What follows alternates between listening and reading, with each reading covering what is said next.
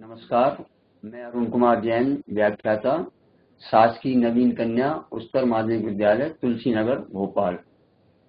आज साइंसदारी सामान के बारे में पढ़ेंगे। तो एकाकी व्यापार की बहुत सी कठिनाइयों के कारण साइंसदारी का जन्म हुआ। क्योंकि अपन ने देखा था कि एकाकी व्यापार में अकेला एक व्यक्ति होता है, उसके पास सीमित साधन होते हैं, पूंजी सीमित होती है, व्यापार के संचालन की क्षमता भी सीमित होती है। अतः इसी दृष्टि को बढ़ाने के उद्देश्य से साझेदारी का जन्म हुआ था। तो साझेदारी का मतलब सभी लोग समझते होंगे कि इसमें जब दो या दो से अधिक व्यक्ति मिलकर किसी व्यापार को चलाने के लिए एकत्रित होते हैं और आपस में लाभ बांटने के लिए एकत्रित होते हैं तो वो साझेदारी कहलाती है। तो इसमें एक भारतीय साझेदारी के अंतर्गत की परिभाषा भी दी है कि भारतीय साझेदारी अधिनियम उन्नीस सौ बत्तीस की धारा चार के अनुसार साझेदारी व्यक्तियों को पारस्परिक संबंध है जो उन सबके द्वारा या उन सबकी ओर से किसी एक व्यक्ति द्वारा संचालित व्यापार का लाभ आपस में बांटने के लिए सहमत होते हैं। तो साझेदारी में कम से कम दो व्यक्तियों का न होना बहुत ज़रूरी है और उनमें आपस में लाभ बांटना पाया है। तो कोई वैध व्यापार करने के लिए सहमत होते हैं। इसकी विशेषताएँ परीक्षा में अक्सर आती हैं। तो इसकी विशेषताएँ सबसे पहले वैध अनुबंध। साझेदारी व्यापार जो होता है, वैध अनुबंध होता है इसमें। अनुबंध होता है समझौता। समझौता लिखित भी हो सकता है, भी हो सकता है। लेकिन जहाँ तक समझौता जो है, लिखित हो, वो ज़्यादा अच्छा माना जाता है। क्योंकि मौखिक समझौते में कभी कभी किसी प्रकार से विवाद की स्थिति उत्पन्न हो जाती है। लिखित समझौता ज़्यादा अच्छा माना जाता है तो वैध अनुबंध होना चाहिए। दो या दो से अधिक व्यक्तियों का होना। देखिए, साझेदारी में कम से कम दो व्यक्तियों का होना आवश्यक है। यदि दो व्यक्तियों से संख्या घटकर एक रह जाएगी तो वो साझेदारी नहीं कहलाएगी। इसमें कम से कम दो व्यक्ति होते हैं और एक सामान्य संचालन व्यापार में ज़्यादा से ज़्यादा अधिकतम बीस व्यक्ति हो सकते हैं। बैंकिंग व्यवसाय में अधिकतर दस व्यक्ति हो सकते हैं, लेकिन कम से कम दो व्यक्तियों का होना बहुत आवश्यक है। वैध व्यापार। लेकिन साझेदारी के लिए वैध व्यापार का होना भी आवश्यक है। लीगल व्यापार होना चाहिए इलीगल नहीं। है विभाजन। जितने भी साझेदार हैं, उन सबको आपस में लाभ का विभाजन करना पड़ता है। ये ज़रूरी नहीं है कि सभी साझेदार आपस में बराबर बराबर लाभ बांटें।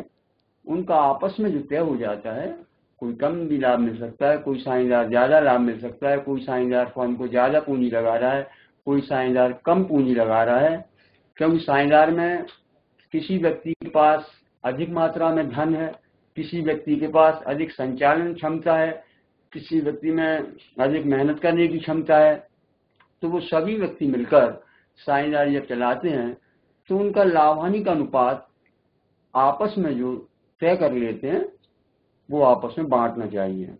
व्यापार का संचालन, अपन देखिए व्यापार का होता है संचालन करना होता है तो व्यापार का संचालन सब साझेदार कर सकते हैं या सब साझेदार की ओर से कोई एक साझेदार भी कर सकता व्यापार का संचालन करना चाहिए।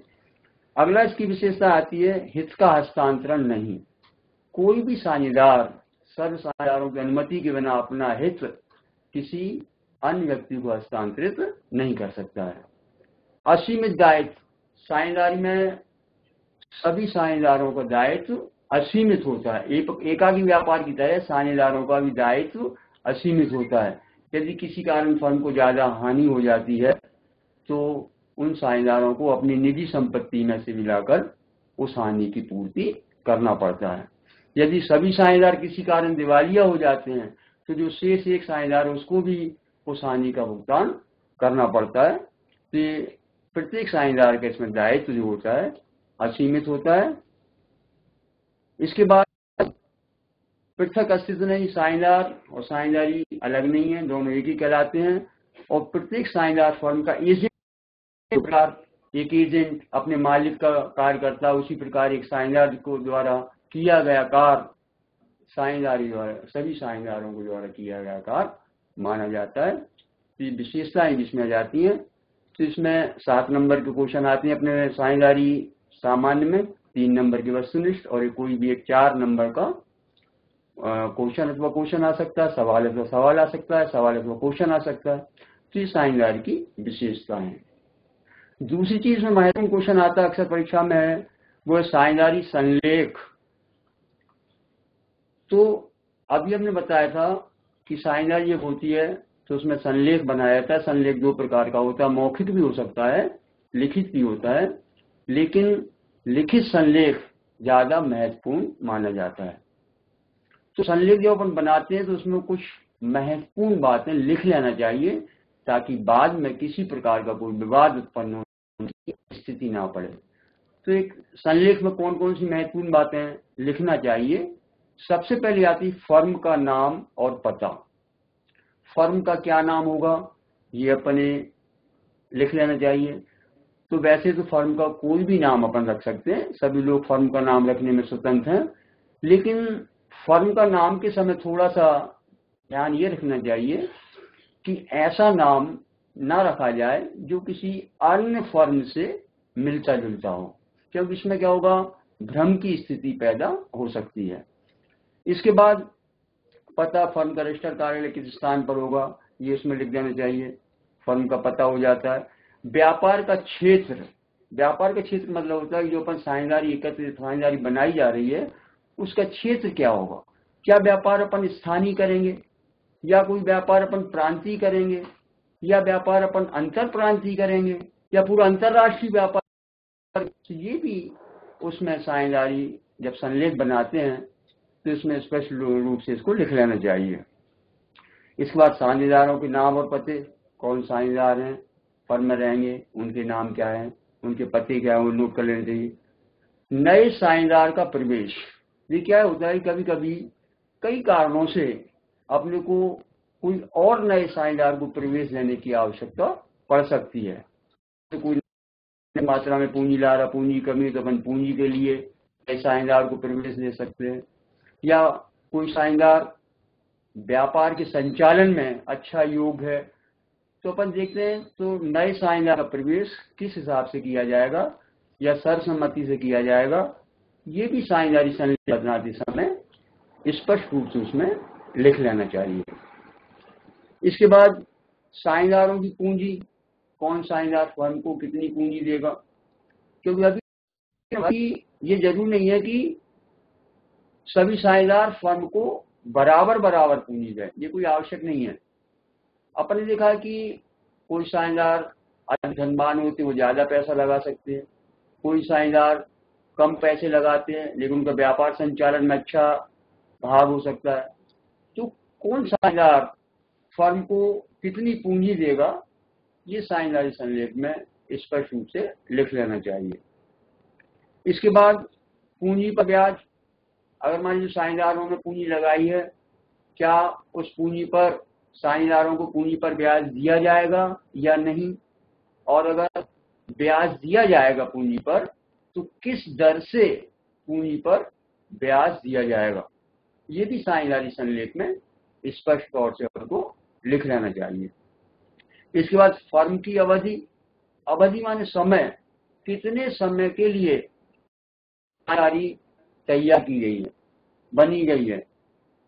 तो उसमें अवधि का भी उल्लेख होना चाहिए, क्या कोई विशेष कार्य कर रहे हैं, वो कार्य पूर्ण होने पर साझेदारी समाप्त हो जाएगी, या उसकी अवधि एक निश्चित रहेगी, या तो ये कितने समय के लिए साझेदारी बनाई जा रही है तो उसकी अवधि का भी उल्लेख उसमें होना चाहिए। आहरण एवं उस पर ब्याज, आहरण आहरण का मतलब अपन समझते हैं कि जब कोई साझेदार फर्म से पैसा या माल निजी प्रयोग के लिए निकाल लेता है तो वह उसका आहरण कहलाता है। तो कोई साझेदार फर्म से कितना आहरण कर सकता है, कब का आहरण कर सकता है, और इस आहरण पर उससे किस प्रतिशत की दर से ब्याज लिया जाएगा या नहीं लिया जाएगा? पैसे ही ब्याज लिया जाएगा नहीं, और यदि ब्याज लिया जाता है तो की दर से उससे ब्याज लिया जाएगा। ये भी साझेदारी संलेख में स्पष्ट रूप से खोलना चाहिए। अगला आता है इसमें लाभ हानि का विभाजन। देखिए, अभी हमने बताया था कि ये आवश्यक नहीं है कि फर्म में जितने साझेदार हैं, सभी को बराबर बराबर लाभ हानि बांटा जाए।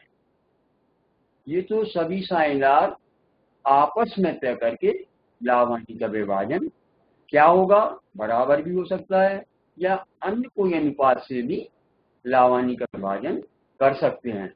तो ये भी स्पष्ट उल्लेख हो जाता है कि किस अनुपात से सानेदारी में लावानी का विभाजन होगा। ये भी अपने को संलेख बनाते समय उसमें लिख लेना चाहिए। इसके बाद फर्म द्वारा ऋण कभी कभी क्या होता है फर्म को और पैसे की आवश्यकता होती है तो क्या कोई साझेदार रूप में पैसा देगा? और जो ऋण के रूप में फर्म को पैसा देगा तो उसको किस दर से ब्याज दिया जाएगा? ये भी फर्म में जब संलेख बनाते हैं तो संलेख में ये चीज़ को कर देना चाहिए। फर्म को पैसे की आवश्यकता उसे पूंजी के अलावा पूंजी के अलावा कोई साझेदार फर्म ऋण के रूप में यदि पैसा देता है तो उसे किस दर से उसके ऋण पर ब्याज दिया जाएगा, ये भी अपने को संलेख में लिख लेना चाहिए। इसके बाद साइनदारों का कमीशन या वेतन कभी कभी क्या होता है, कोई साझेदार फर्म में बहुत अधिक सक्रिय रूप से रहकर कार्य करता है, बहुत पार्श्विक मेहनत करता है तो क्या किसी साइनदार को वेतन या कमीशन के रूप में पैसा दिया जाएगा या नहीं? हम जब संदेश बनाते हैं तो उसमें ये महत्वपूर्ण बातें लिखना चाहिए। साझेदारी का समापन साझेदारी का समापन होगा? किस विधि से समापन किया जाएगा? ये भी अपने संलेख में स्पष्ट रूप से लिखना चाहिए। साझेदारों के नियमों का उल्लंघन। यदि कोई साझेदार, साझेदारी के नियम का उल्लंघन करता है तो उसको फिर क्या दंड की व्यवस्था रहेगी? ये भी संलेख में लिखना चाहिए। इसके बाद ख्याति का मूल्यांकन। देखिए, ख्याति का मूल्यांकन क्या होता है कि जब कोई साझेदार फर्म में आता है या कोई साझेदार फर्म से निवृत्त होता है, तब ख्याति का मूल्यांकन करने की आवश्यकता पड़ती है। तो ख्याति मूल्यांकन की विधि क्या होगी? अपनी उसमें स्पष्ट रूप से लिख लेना चाहिए। इसके बाद चेक पर हस्ताक्षर करने का अधिकार। देखिए क्या होता है कि साझेदारों में साझेदारों हुई है। तो कौन साइनदार बैंक के बैंक के चेक पर हस्ताक्षर करने का अधिकार किस साझेदार को दिया जाएगा? और अंत में कोई विवाद अगर होता है तो क्या पंच फैसला के माध्यम से इस विवाद को हल किया जाएगा? ये सारी चीज़ें संलेख में लिख लेना चाहिए। क्योंकि अगर जितनी चीज़ें अपन संलेख में ज़्यादा से ज़्यादा लिख लेते हैं तो बाद में किसी प्रकार के विवाद होने की स्थिति नहीं बन पाती है। क्योंकि विवाद वहाँ पर होता है जब कोई बात स्पष्ट रूप से ना लिखी गई है। अपन लिख के संलेख बना लेते हैं सबके उस पर हस्ताक्षर जाते हैं तो फिर ये मान्य किया जाता है तो ये इसी हिसाब से उनका निपटारा होता है। तो ये एक संलेख अपन ने बातें बताई तुम्हारे लिए कि महत्वपूर्ण चीज़ें होती हैं और ये अपने को ज़रूर साइंदारी संलेख में लिख लेना चाहिए। इसके बाद एक चीज़ और आती है, संलेख के अभाव में लगने वाले नियम। कभी कभी क्या होता है कि कई घनिष्ठ मित्र इतने बहुत घनिष्ठ होते हैं और वो किसी भी प्रकार का मौखिक या लिखित समझौता नहीं करते और साझेदारी को शुरू कर देते और बाद में कई प्रकार के विवाद उत्पन्न होने लगते इसलिए पहले बताया कि जब भी साझेदारी शुरू की जाए तो संलेख बनाया जाए और संलेख में महत्वपूर्ण बातों को लिख लेना चाहिए। लेकिन कभी कभी ऐसा हो जाता है कि संलेख नहीं बना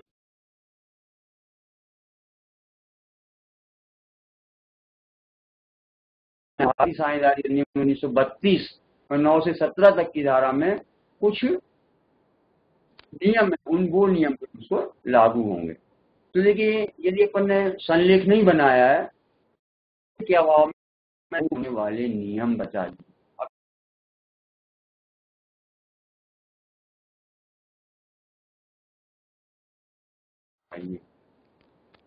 संदेह के अभाव में लागू होने वाले नियम क्या है? ये हर विद्यार्थी को अच्छी तरह से याद होना चाहिए। क्योंकि आगे अपन जब सवाल करेंगे तो उसमें संलेख के अभाव में नियम के द्वारा तो अपने को उसका निपटारा करना पड़ता किस तरह से अपन रावानी का विभाजन करेंगे। तो संलेख के अभाव में अपने को नियम मालूम होना बहुत ज़रूरी है। तो प्रत्येक संलेख के अभाव में कौन कौन से नियम लागू होंगे। तो संलेख के अभाव में सबसे पहले व्यापार का संचालन। यदि अपन ने साझेदारी संलेख नहीं बनाया है। तो व्यापार के संचालन में सभी साझेदारों को भाग लेने प्रकार होगा। जितने भी साझेदार हैं, वो सब साझेदार व्यापार के संचालन में भाग ले तीसरा पूंजी पर ब्याज, अभी बताया था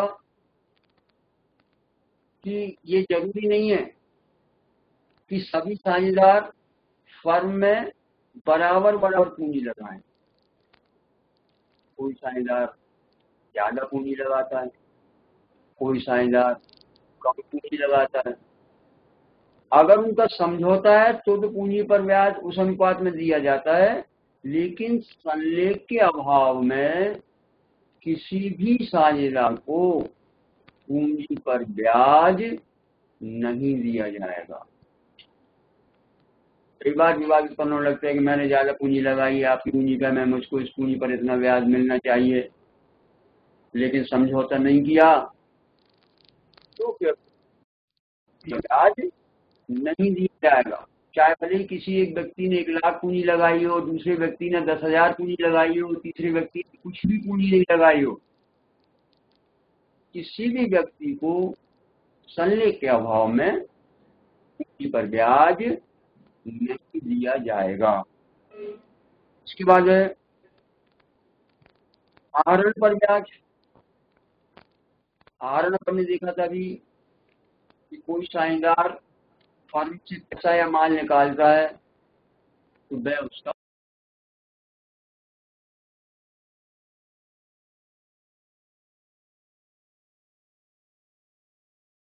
आहरण करता है फर्म से, पैसा निकालता तो उस पर भी किसी प्रकार का ब्याज नहीं लिया जाएगा।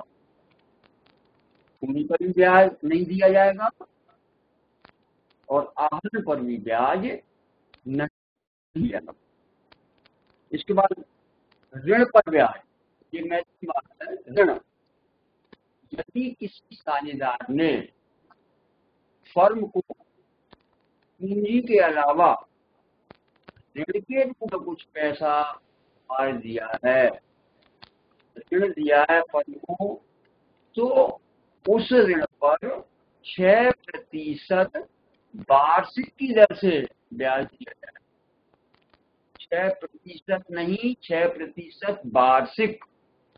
वार्षिक शब्द में रखें, क्योंकि वार्षिक शब्द का कि दिया उतने समय का उसको ब्याज मिलेगा। मान लीजिए तीन महीने के लिए ब्याज दिया तो तीन महीने का मिलेगा पूरे वर्ष का, नहीं, छह महीने दिया। छह महीने का ब्याज पाने का पूरे वर्ष के लिए अगर चार मिलेगा।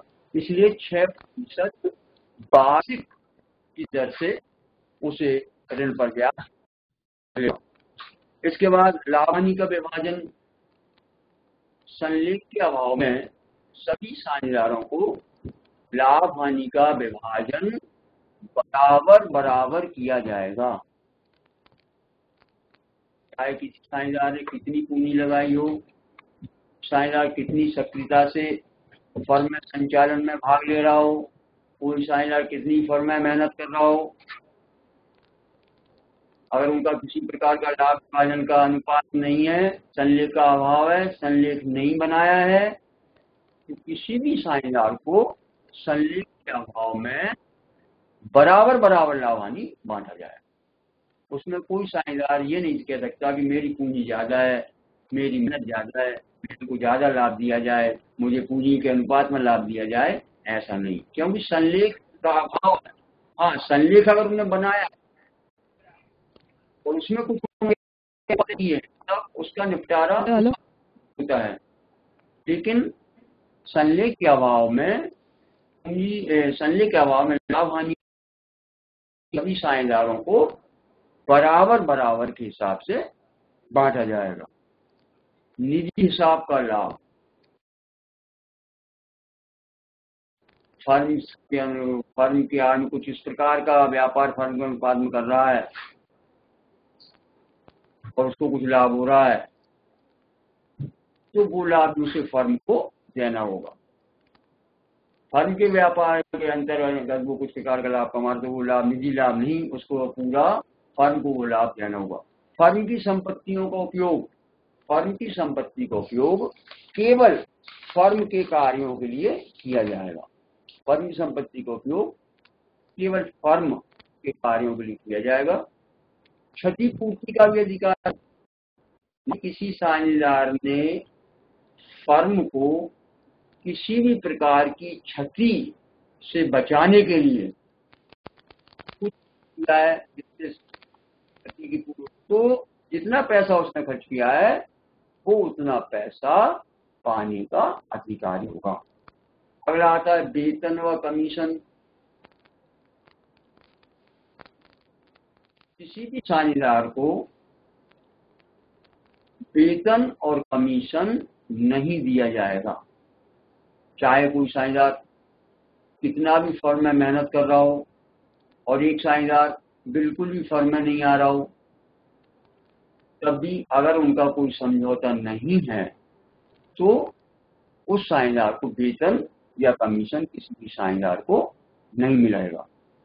लापरवाही के लिए क्षतिपूर्ति। यदि किसी साझेदार ने लापरवाही की है और उस लापरवाही कारण फर्म को नुकसान हुआ है तो उस नुकसान की पूर्ति उस साझेदार से वसूल की जाएगी, उससे, उसके ली जाएगी। इसके बाद अगला आता है, साझेदार साझेदार का प्रवेश। यदि फर्म में मान लीजिए कोई नए साझेदार की और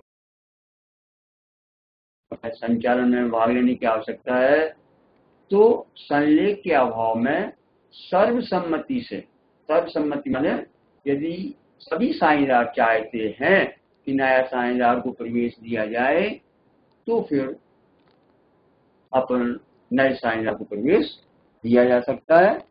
और साझेदारी का अवकाश साझेदार का अवकाश कोई साझेदार फ़र्ज़ से अलग होता है तो उसका निपटारा करने के लिए जब तक उसका वो अलग हो सकता है तो फाइनल उसको उसका अपन पूरा भुगतान नहीं कर देंगे तो उसके भी उसका छह परसेंट वार्षिक के हिसाब से उसको ब्याज मिलेगा। तो ये है सब संलेख के अभाव में। तो अपन दोनों प्रकार के नियम देख चुके हैं कि साझेदारी संलेख बनाना चाहिए, संलेख में महत्वपूर्ण बातें क्या क्या है, सारी बातें लिख लेना चाहिए, क्योंकि संलेख बनाने से बाद में किसी प्रकार की परेशानी का सामना नहीं करना पड़ता। अक्सर जहाँ साझेदार संलेख नहीं बनाते हैं तो बाद में उन्हीं साझेदार में आपस में विवाद की स्थिति ज़्यादा उत्पन्न होती है। लेकिन फिर भी अगर संलेख का अभाव है तो फिर पूरा निपटारा लावानी का अपन को संलेख के अभाव में जो नियम लागू होंगे उनके अनुसार वो लावानी का निपटारा करना पड़ता है। अब देखिए सामान्य साझेदारी में अपने को सवाल किस तरह से आते हैं, सवाल कौन कौन से करते हैं? अभी हमने बताया कि इसमें सात नंबर के क्वेश्चन हैं, तीन नंबर की वस्तुनिष्ठ है और चार नंबर का एक क्वेश्चन आता है, जिसमें क्वेश्चन अथवा क्वेश्चन हो सकता है, क्वेश्चन अथवा सवाल आ सकता है, सवाल अथवा सवाल आ सकता है तो इसमें जो सवाल अपने थ्योरी के बारे में शॉर्ट में देखा अपन को सवाल देख रहे हैं। इसमें एक लावानी नियोजन खाता बनाया जाता है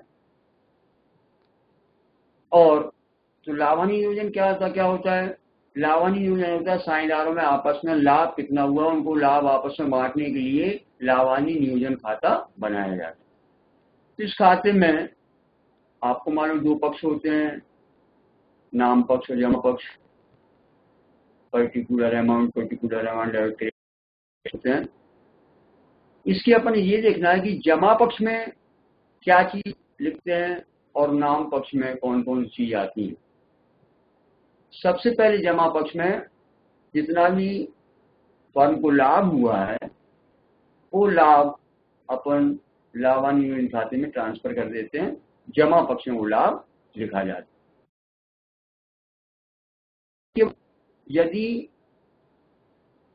साझेदारों द्वारा आरण फर्म को प्राप्त हुआ है तो वो भी फर्म का लाभ होता है। इसलिए साझेदारों का जो आरण लिया है साझेदारों से, वो भी अपने को लाभानी नियोजन खाते के जमा पक्ष में लिखना। तो ये चीज़ लाभानी खाते के जमा पक्ष में आती है। इसके बाद नाम पक्ष में अपन देख रहे डेबिट साइड में कौन कौन चीज़ आएगी डेबिट साइड में जो उनका सारी चीज़ तय है जैसे मान लीजिए उनको पूंजी पर ब्याज देना है, जो भी तो अपन पूंजी पर ब्याज interest on capital interest on costal करके जो भी साझेदार है उनको पूंजी पर ब्याज उस दर से देंगे और वो ये लाभान्य नियोजन खाते के नाम पक्ष में लिखते हैं। इसके बाद किसी साइनदार को वेतन या कमीशन देना है तो वो भी लावानी खाते के नाम पक्ष में लिख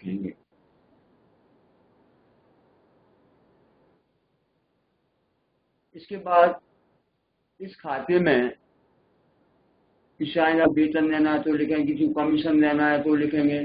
इस सारी चीज़ घटाने के बाद, इसके बाद यदि कुछ बचता है तो फिर सभी साझेदार आपस में बांट लेंगे, उसे भी नाम पक्ष में लिखेंगे। यदि इनको लाभ होता है तो नाम पक्ष में लिख के आपस में, जो उनका आपस में अनुपात तय है, उस अनुपात में लावानी बांट लेंगे। और यदि इनका अनुपात कोई तय नहीं है, संलेख नहीं बनाया है तो नहीं कहा था कि संलेख के अभाव में, बराबर बराबर लवानी मार। इसके बाद इस खाते में पूंजी खाते ही बनाए जाते तो पूंजी खाते जो अपन बनाते हैं, वो दो प्रकार की पूंजी होती है। एक स्थायी पूंजी होती है और एक परिवर्तनशील पूंजी। देखिए, स्थायी पूंजी स्थायी पूंजी खाता जो पूंजी साझेदारों की हमेशा स्थायी रहती है। उसमें किसी भी वर्ष किसी प्रकार का कोई परिवर्तन नहीं होता है। हमेशा वो उनकी पूंजी रहेगी। तो इस पूंजी अगर मान लीजिए कुछ साझेदार स्थायी पूंजी से अपने खाते रखते हैं तो उनको एक चालू खाता भी बनाना होता है। क्योंकि स्थायी पूंजी में तो केवल स्थायी पूंजी रहती है फिर उन्हें करेंट अकाउंट बनाना होगा, उसमें फिर ब्याज, आरण, लाभ, उसका लेखा वो अपने चालू खाते में करते हैं। लेकिन दूसरा होता है परिवर्तनशील पूंजी पद्धति। या परिवर्तन नहीं, परिवर्तन का मतलब होता है उनकी पूंजी प्रतिवर्ष बदलती रहती है। तो यदि वो परिवर्तनशील पूंजी पद्धति से अपने खाते रखते हैं तो फिर उनको केवल परिवर्तनशील पूंजी पद्धति से खाता बनेगा फिर उनको चालू खाता बनाने की आवश्यकता नहीं होती। अब थोड़ा कभी कभी इसमें स्थायी पूंजी क्या होती है, परिवर्तनशील पूंजी क्या होती है, इनमें अंतर भी आ जाता है। तो अपन ने देखा था स्थायी पूंजी सदैव स्थायी रहती है। सदैव स्थायी माने जो जितनी पूंजी आ जाए, वही अगले वर्ष, वही अगले वर्ष, वही अगले वर्ष, उसमें किसी भी प्रकार का कोई चेंज नहीं होता स्थायी पूंजी कहलाती जबकि परिवर्तनशील पूंजी क्या होती है? परिवर्तनशील पूंजी होती है ये प्रति वर्ष बदलती रहती है। क्योंकि उसमें ब्याज, लाभ आरण सबका लेखा होता है और हर साल वो नई पूंजी आती है, उसकी पूंजी शेष बदलता रहता है। इसके बाद स्थायी पूंजी के साथ अपने को चालू खाता रखना पड़ता है। चालू खाता इसलिए रखना पड़ता है कि स्थायी पूंजी में तो केवल अपन स्थायी पूंजी लिख देते हैं। इसके बाद जो हमारे के लिए लाभ मिले हैं, ब्याज मिला है, कमीशन मिला है, वेतन मिला है, उसके लिए हमको अलग से फिर चालू खाता करेंट अकाउंट बनाना पड़ते हैं, जबकि परिवर्तनशील पूंजी पद्धति में चालू खाता रखने की आवश्यकता क्योंकि इसमें तो सीधे परिवर्तनशील पूंजी है तो उसमें किसी प्रकार की कोई चालू खाता रखने की ज़रूरत और उसमें चालू खाता आवश्यकता नहीं पड़ती है। स्थायी पूंजी में लगाई गई पूंजी का ही लेखा होता है जो अपन ने पूंजी लगाई है, उसके लेखा करते हैं? जबकि परिवर्तनशील पूंजी में लगाई गई पूंजी के साथ साथ ब्याज, लाभ, कमीशन जो भी है, सबका लेखा किया जाता है। इसके बाद देखते हैं कि स्थायी पूंजी का शेष जो होता है, वो हमेशा डेबिट हमेशा क्रेडिट होता है। स्थायी पूंजी से लेकिन परिवर्तनशील पूंजी का डेबिट कोई नहीं हो सकता है। वृद्धि करने पर इस खाते के शेष में एक बार परिवर्तन हो सकता है। यदि मान लीजिए अपन पूंजी में परिवर्तन कर रहे हैं, पूंजी में और वृद्धि करना चाह रहे हैं तो एक बार अपन पूंजी में वृद्धि करके इसकी पूंजी को बढ़ा सकते हैं, स्थायी पूंजी परिवर्तन पद्धति तो प्रतिवर्ष बदलती रहती है तो इसको अपन एक बार और पूंजी बढ़ाना है, किसी की पहले अपन ने दस हज़ार पूंजी थी और बढ़ाना है पूंजी के सब लोग मिलकर साइना पूंजी में वृद्धि करना चाह रहे हैं तो एक बार पूंजी वृद्धि कर सकते हैं, लेकिन परिवर्तनशील पूंजी पद्धति में तो प्रति वर्ष उसकी पूंजी जो है बदलती रहती है। तो ये दोनों प्रकार से खाते रखे जाते तो मैंने बताया कि अपन को एक लावानी, नियोजन खाता बनाना होता है, वो किस प्रकार बनता है, उसको अभी अपन ने थोड़ा समझा और उसके बाद पूंजी खाते बनाए जाते हैं। पूंजी खाते के बारे में भी अपन अगर कोई साझेदार स्थायी पूंजी से अपने कुल फार्म स्थायी पूंजी से खाते रखती है तो उसके साथ उसे चालू खाता रखना पड़ता है और यदि कोई परिवर्तनशील पूंजी पद्धति से अपने खाते रखते हैं तो उसको किसी प्रकार से फिर और चालू खाता रखने की आवश्यकता नहीं पड़ती अब जब भी अपन लावनी नियोजन खाता बनाते हैं तो उसमें पूंजी पर ब्याज लगाना होता है। तो पूंजी पर ब्याज कैसे लगाते हैं? ये अपन जानते हैं उनकी पूंजी दी हुई होती है।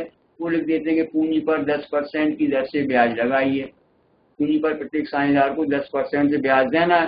तो अपन देखेंगे कि किस साझेदार की कितनी पूंजी है। फॉर एग्ज़ाम्पल अपन ने देखा किसी साझेदार, उसकी पूंजी दस हज़ार है और उसको दस परसेंट अपने को ब्याज देना है तो दस हज़ार इंटू दस बटे सौ करेंगे तो एक हज़ार रुपये उसको पूंजी पर ब्याज निकल आएगा तो ये तो बहुत इजी वे में पूंजी पर ब्याज अपन निकाल लेते हैं। लेकिन जिस प्रकार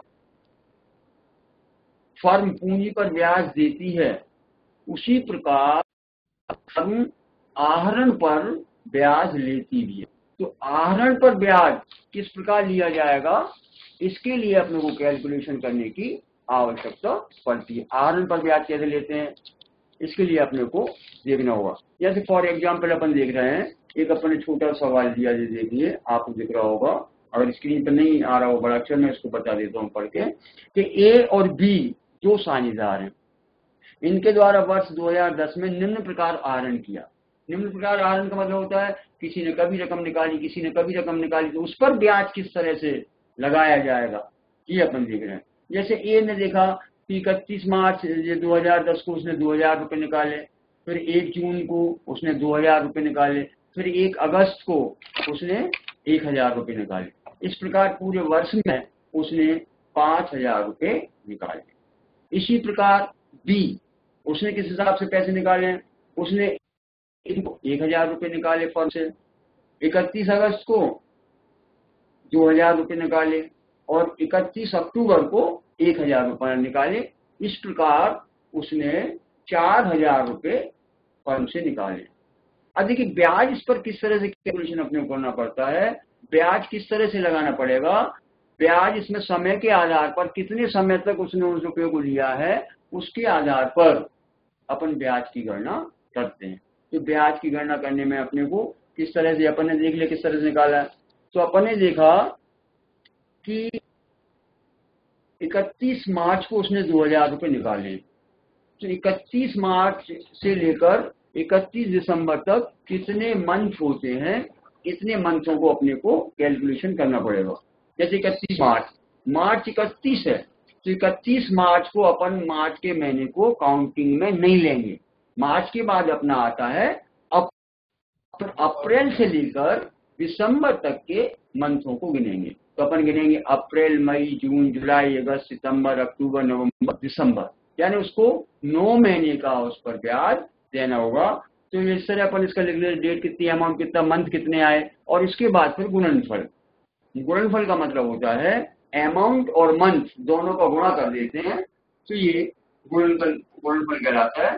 तो अपन ने देखा इकतीस मार्च को जो उसने दो हज़ार रुपये थे, उस पर उसको नौ नौ महीने का, नौ महीने का उसको ब्याज देना होगा। दूसरा उसने एक जून को दो हज़ार रुपए निकाले। और एक जून जून क्योंकि एक है तो पूरा जून भी इसमें काउंट करेंगे। अपन जून, जुलाई सितंबर, अक्टूबर, नवंबर और दिसंबर। तो ये सात महीने ब्याज देना होगा। और एक अगस्त को उसने एक एक अगस्त से लेकर अपन इकतीस दिसंबर तक मंच गिनेंगे तो अगस्त भी काउंट किया जाएगा? तो एक अगस्त को निकालें तो अगस्त, सितंबर, अक्टूबर, नवंबर, दिसंबर, पाँच महीने के। तो इस प्रकार इसको पाँच महीने का इंटरेस्ट देना पड़ेगा। तो इसके लिए अपन मंथ निकालने के बाद अपने क्या करना है? गुणनफल निकालना पड़ेगा। तो गुणनफल अपन निकाला। यानी गुणनफल का मतलब होता है रकम और मंथ इनका अपने को गुणा करना है। इंटू कर देंगे तो ये नौ दिन अठारह, यानी मतलब अठारह हज़ार आएगा। दो हज़ार सात महीने का निकालना तो सात दिन चौदह हज़ार आएगा। और अगस्त में उसने एक हज़ार रुपये पाँच महीने का उसको ब्याज देना ये पाँच हज़ार आएगा। कुल गुणनफल का योग सैतीस हज़ार आया है। तो जब अपन ने गुणनफल का योग निकाल लिया तो हम गुणनफल पद्धति से किस तरह से इसकी ब्याज की गणना करेंगे? तो इसका आएगा, अपन ब्याज बराबर गुणनफल का योग, गुणित दस बटे सौ इंटू बारह। मंथ के है, मंथ है तो अपन बारह में लगाते हैं तो इंटू तीन सौ करेंगे तो अपन मंथ में देख रहे हैं। तो interest is equal to total product यानी कितना अपना गुणनफल है इंटू रेट किस दर से निकालना है? तो इसमें है छह परसेंट वार्षिक की दर से आर पर ब्याज लगाना, छह परसेंट वार्षिक की दर से लगाना है अपने को। तो अपन ने छह परसेंट की वार्षिक की दर से निकाला तो अपन ने कहा सैंतीस हज़ार इंटू छह अपॉन हंड्रेड इंटू ट्वेल्व सौ इंटू बारह करेंगे इसको अपन डिवाइड कर देंगे? एक सौ पिचासी रुपये यानी ए ए ने जो फर्म से आरण किया, उसका ब्याज एक सौ पिचासी रुपये होगा गुणनफल पद्धति से। इसी प्रकार बी ने, अपन बी ने देखा बी ने निकाला है यहाँ पर, एक जून को निकाले उसने एक हज़ार अब एक जून से लेके अपने इकतीस दिसंबर तक दिन काउंट करना है। तो एक जून एक जून से आया जून को भी काउंट करेंगे, जून, जुलाई, अगस्त, सितंबर, अक्टूबर नवंबर और दिसंबर। सात महीने, यानी इसमें सात देना अगस्त इकतीस अगस्त इकतीस को निकाले उसमें दो हज़ार। तो इकतीस अगस्त को दो हज़ार निकाले हैं तो इसमें अगस्त का महीना नहीं गिना जाएगा। इकतीस अगस्त है, दस अगस्त है तो उसको उसने उस पैसे का उपयोग कब किया? अगस्त के बाद सितंबर, अक्टूबर, नवंबर, दिसंबर। उसको चार महीने का देना हुआ। इसके बाद अक्टूबर इकतीस को निकालिए गया तो अक्टूबर का भी महीने चला गया, उसका तो अक्टूबर के बाद आता है महीने गुणनफल मंथ और अमाउंट को गुणा करके गुणनफल निकालेंगे। तो एक हज़ार का अपन सात से इंटू करेंगे, सात हज़ार आएगा। दो हज़ार चार महीने पे करेंगे चार महीने आठ हज़ार रुपये आएगा। और एक हज़ार का दो से गुणा करके दो हज़ार इस प्रकार। सोलह सत्रह हज़ार रुपये गुणनफल आता है। उसमें कोई अपन सूत्र लगाएँगे। Interest into total product into rate बटे हंड्रेड इंटू ट्वेल्व तो सत्रह हज़ार इंटू छह क्योंकि छह दर है अपनी, सौ इंटू बारह करके इसमें पिचासी रुपये इसका ब्याज बनता है, इसको पिचासी रुपये ब्याज आ जाएगा देखिए आपका पिचासी रुपये इंटरेस्ट बन जाएगा ये पिचासी रुपये आपका इंटरेस्ट है। ये अपन ने गुणनफल पद्धति से ब्याज की गणना की। इसके बाद अपन इसमें औसत पद्धति से भी ब्याज निकाल सकते हैं। तो उसका सूत्र क्या है? कि गुणनफलों का योग अपन और आहरणों का योग। गुणनफल का योग इंटू आहरण का योग कर लेते हैं। एवरेज पीरियड गुणनफल का योग कितना था अपना? पहले एम है। एम में देखा था सैंतीस हज़ार कुल कितना आहरण किया था? पाँच हज़ार। तो अपन ये मंथ निकाल लिए, सात पॉइंट चार मंथ आ जाते हैं इसके बाद फिर दूसरा सूत्र लगाएँगे, ब्याज बराबर आहरणों का योग कितना आरण किया? दस समय बटे सौ इंटू बारह। तो अपन ने पाँच हज़ार आरण किया था। छह परसेंट दर है। समय सौ इंटू बारह, इसमें भी एक सौ पिचासी रुपये आया था। इसी प्रकार अपन बी ने जो आरन किया था, उसमें उसके सूत्र लगाएँगे अपन देखेंगे कि गुणनफल का योग बटे आरन का गुणनफल का योग सत्रह हज़ार था। कितना आरन किया था उसने? चार हज़ार। चार हज़ार का मारेंगे तो चार पाँच पच्चीस मंथ आ जाएँगे। फिर तीसरे सूत्र लगाएँगे। आरणों का योग इंटू दर इंटू समय बटे हंड्रेड इंटू ट्वेल्व सौ बारह करेंगे। बराबर चार हज़ार इंटू छह, चार पॉइंट पच्चीस और डिवाइड इसमें जब आप इसको डिवाइड करेंगे तो इसका आएगा इक्यासी रुपए। तो दोनों ही मेथड से अपन गुणनफल का ब्याज लगा सकते हैं। जो अपन आरण की है, उस आरण पर ब्याज निकाल सकते हैं। इसके बाद, अब हमने बताया तुम्हारे कि अपने को किस तरह से ये सवाल करना है? और ऐसा सवाल ऐसा परीक्षा में आता है, एक सवाल और एग्ज़ाम के लिए बताते हैं और इसको हल किस तरह से करते हैं। दस को ए और बी क्रमशः दस हज़ार तथा पाँच हज़ार रूपए लगाकर साझेदारी में प्रवेश करते हैं। उनका लाभ विभाजन का अनुपात दिया है दो रेख क्रमशः का मतलब होता है पहले वाली व्यक्ति का पहला दूसरे का बाद वाला। तो दो रेख में, माने ए का दो है और बी का एक अनुपात है। डी को चौबीस रुपए वार्षिक वेतन भी मिलता है। पूंजी पर ब्याज छह परसेंट वार्षिक की दर से दिया जाता है।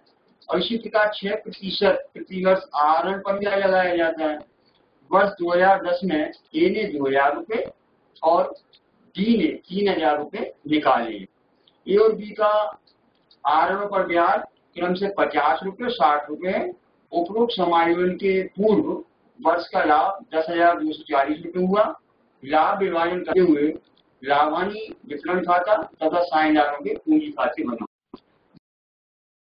पर ब्याज अगर निकाल के दे दे तो फिर अपन को किसी प्रकार से आर जाने की गणना करने की आवश्यकता नहीं होती है। फिर अपन को कोई आर अपन मान लेंगे। तो सबसे पहले अपन बनाएँगे लाभानी नियोजन खाता। देखिए लाभानी नियोजन खाते में अपन ने देखा तुमको अभियान में बताया था कि अपने को डेबिट साइड में क्या रखना होता है और क्रेडिट साइड में अपने को ऊपर बनाएँगे अपन प्रॉफिट एंड लॉस उसमें किस वर्ष के लिए बना रहा है वर्ष डाल देंगे। तो सबसे पहले क्रेडिट साइड में बताया था जो भी अपने को लाभ होता है, वो ट्रांसफ़र कर देते हैं अपन लाभ लाभ हानि नियोजन खाते में। तो अपन ने देखा था कि इस सवाल में लाभ हमको हो रहा है दस हज़ार दो सौ चालीस। और एक और चीज़ बताई थी, जो तो विधि करेंगे शेष लाए अपन। दस हज़ार दो सौ चालीस इसी प्रकार बाई इंटरेस्ट ऑन ड्रॉइंग अपने को ए से ब्याज मिला पचास रुपए और बी से ब्याज साठ रुपए। इस प्रकार कुल हमको लाभ की प्राप्ति हुई है दस हज़ार तीन सौ पचास रुपए का लाभ हुआ अपने को। अब अपन बताया कि उनको पूंजी पर ब्याज देना है। तो पूंजी पर ब्याज देना है तो पूंजी उनकी थी, कितनी पूंजी थी?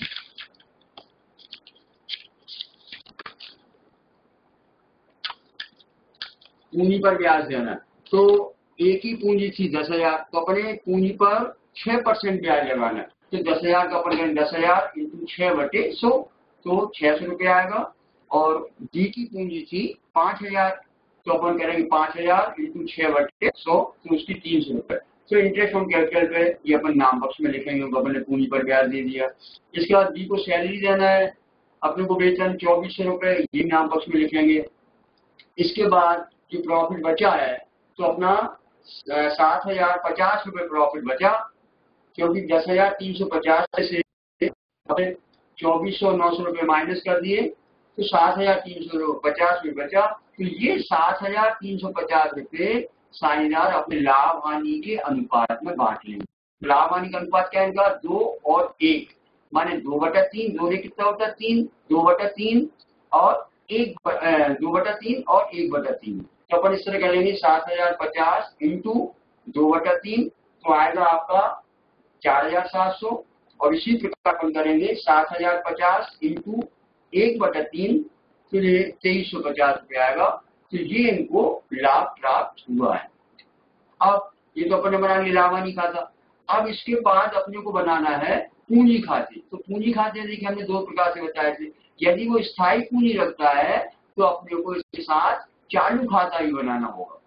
और यदि परिवर्तनशील पूंजी है तो फिर चालू खाता बनाने की आवश्यकता नहीं होगी। अब देखिए, अपन देखते हैं पहले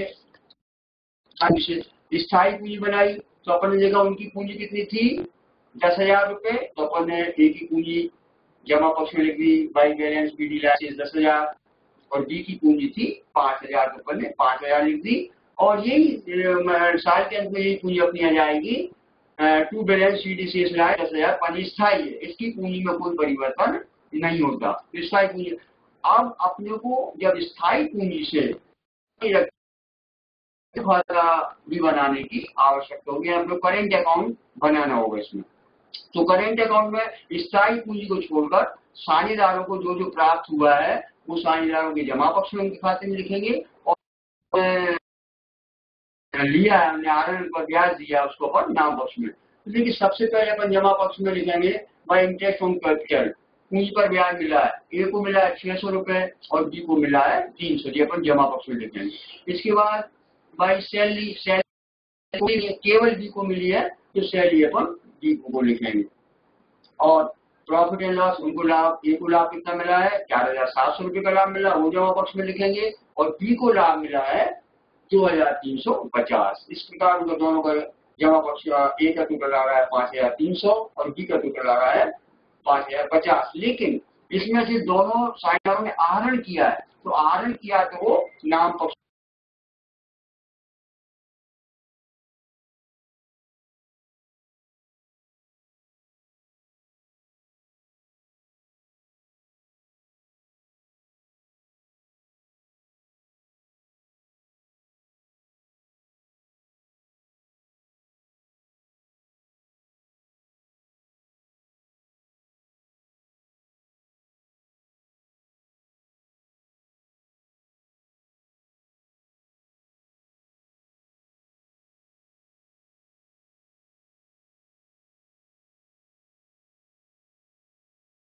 एक हज़ार नब्बे बच रहा है अपना डी का। तो ये अपन ने देखा था कि जब अपना स्थायी पूंजी होती है दूसरी चीज़ बताया परिवर्तन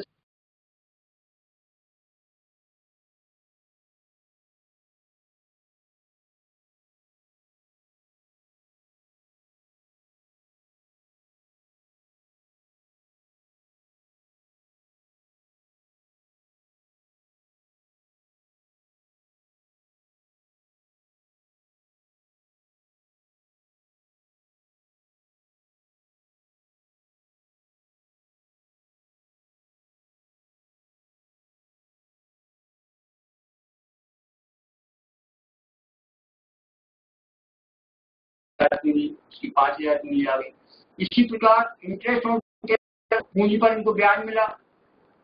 वो ए को मिला छह सौ, अपन छह सौ लिख दी बी को तीन सौ तीन सौ लिख दिए। वाई सैलरी सैलरी ए को मिल नहीं रही। केवल बी को मिल रहा है चौबीस सौ रुपए तो अपन ने वाई सैलरी बी को दे दिया।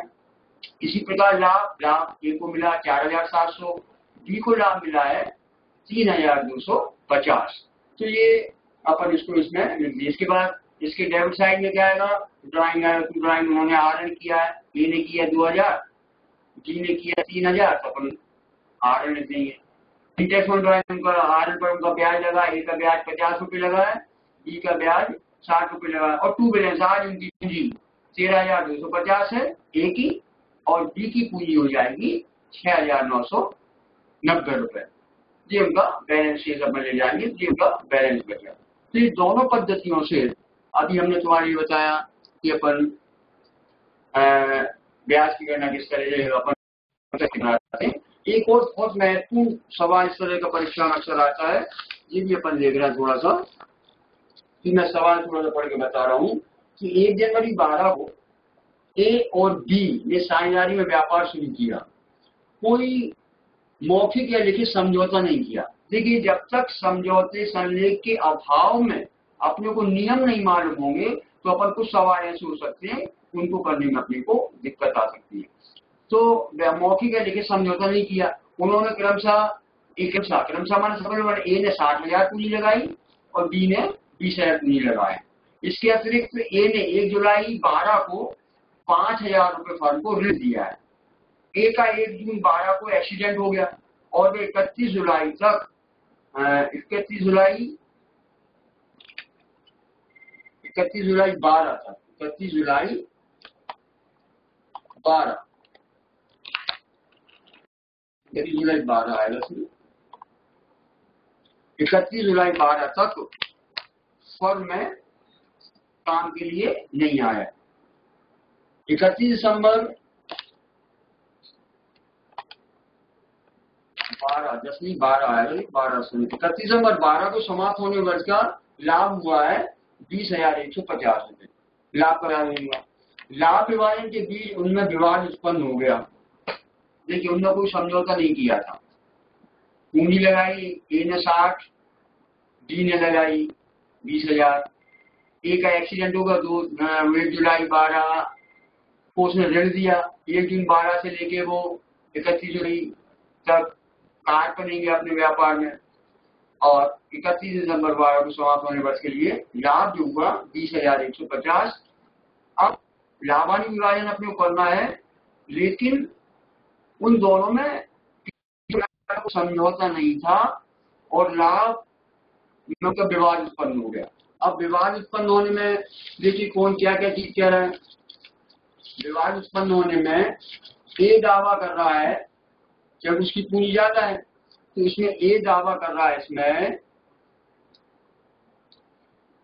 कि उसे पूंजी और ऋण पर 10 परसेंट वार्षिक ब्याज दिया जाना चाहिए। क्यों? समझौता तो है नहीं उनका कोई, और वो ये कह रहे हमको 10 परसेंट पूंजी पर ब्याज दीजिए। 10 परसेंट ऋण पर ब्याज दीजिए। और लाभ विभाजन पूंजी के अनुपात में कीजिए। पूंजी का अनुपात क्या लगा रहा है? उसकी साठ हज़ार उसकी बीस हज़ार, मान छह के अनुपात में कीजिए, ये कह रहे हैं वो। जबकि बी दावा करता है कि लाभ विभाजन समान अनुपात में होना चाहिए। दूसरा उसे एक ही फर्म से व्यापार में अनुपस्थित जो, ये अनुपस्थित रहा, उसका एक्सीडेंट हो गया था तो उसने समय का दो सौ रुपए प्रति माह की दर से वो कह रहा हमको पारिश्रमिक मिलना चाहिए। तो ऋण पर ब्याज छह परसेंट ब्याज दिया जाना चाहिए। आपको विवाद का समाधान करना है और कानून के अनुसार उनके बीच लाभानी का विभाजन करते हुए आपके उत्तर के पक्ष में कारण भी लेना है। लेकिन इस तरह का सवाल अक्सर परीक्षा में आ जाता है। उन्होंने कोई समझौता नहीं किया और अब बाद में लग रहा है कि हमको इतने परसेंट पूंजी पर ब्याज दो, हमको वेतन दो, हमको कमीशन दो।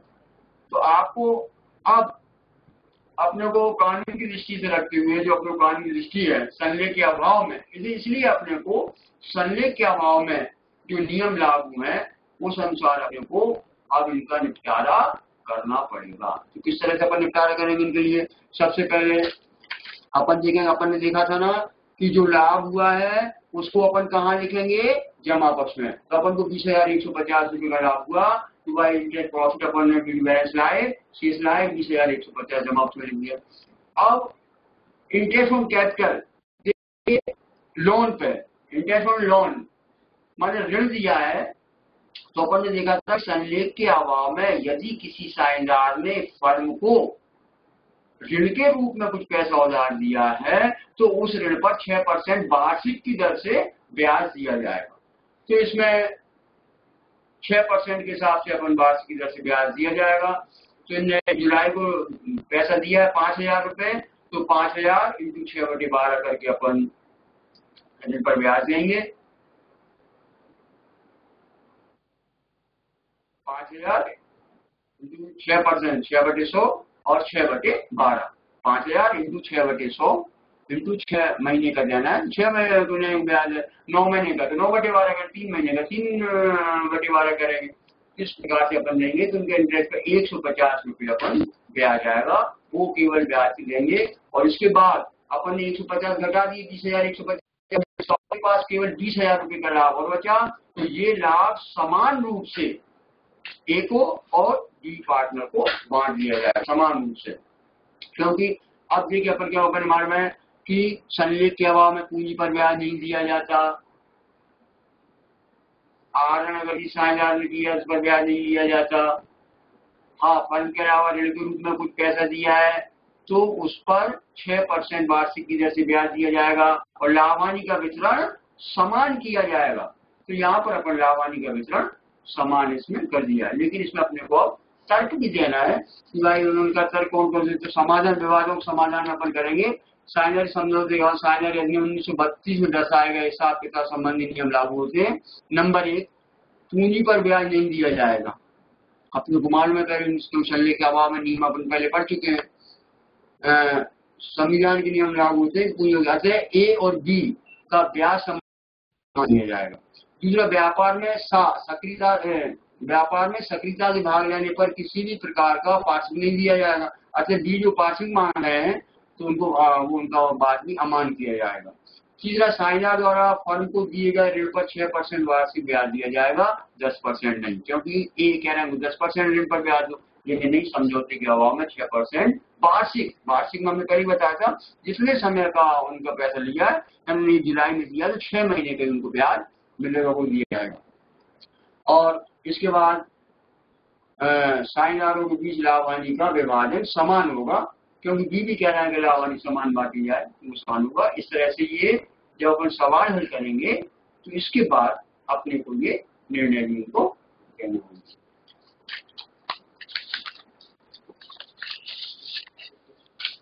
तो आज सब लोगों को बताया समझ में आया उसके अलावा भी अभी बहुत सी चीज़ें तो ये चीज़ अपन इसमें देखेंगे।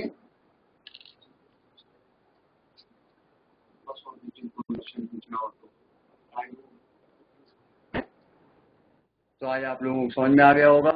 अब हम ही किसी एक आध व्यक्ति से क्वेश्चन करते हैं और कोई व्यक्ति बताना चाहेगा तो बताए कोई क्लास आई? इसमें देखेंगे अपन पूछे जिससे किसी कोई क्वेश्चन पूछना हो, इसमें नहीं समझ में आया, कम समझ में आया तो क्वेश्चन करें।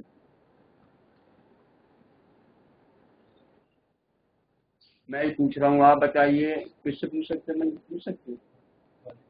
हैं? ग्वालियर। कौन है ग्वालियर? ये।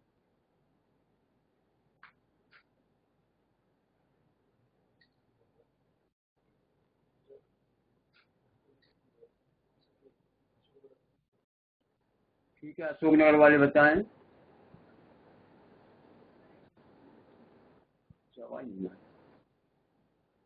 चलो ठीक है हर ड्राइंग अपन को पाँच परसेंट दिया है, ठीक है? और वो निकालता है, चार हज़ार रुपये निकाल रहा है। और उसकी इंटरेस्ट ऑन ड्राइंग निकाल के दिए अस्सी रुपये लेकिन उसका निकालेंगे अपन फाइव परसेंट तो निकलेगा दो सौ रुपये फिर मतलब उसका कैसे निकल रहा है? अपन ने ये बताया है कि अगर सवाल में ड्राइंग निकाल के दिया है तो अब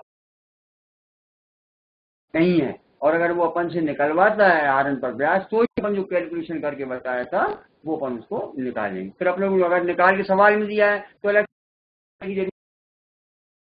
उसी को अपन मानेंगे।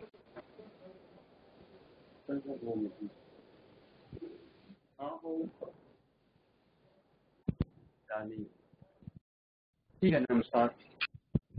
नमस्ते sir. My name is Shivani Sahu अगर इंटरेस्ट ऑन ड्राइंग दिया है तो ड्राइंग निकालेंगे क्या?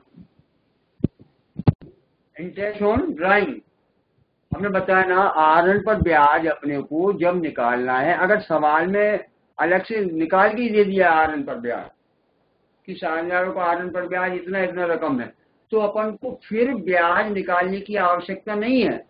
अपन को जो ब्याज अगर वो निकालने की कह रहा है किस दर से तो अपन ने जो अभी गुणनफल पद्धति से बताया, उस हिसाब से मंथ की गणना करके गुणनफल का योग करके जो सूत्र बताया, उसके आधार पर ब्याज की गणना करते हैं। एक क्वेश्चन हम भी पूछ रहे हैं यहाँ पर, कौन बताएगा? ये बताओ ये क्लास में से कि यदि संलेख का अभाव है तो साझेदारों को वेतन कमीशन क्लास में से।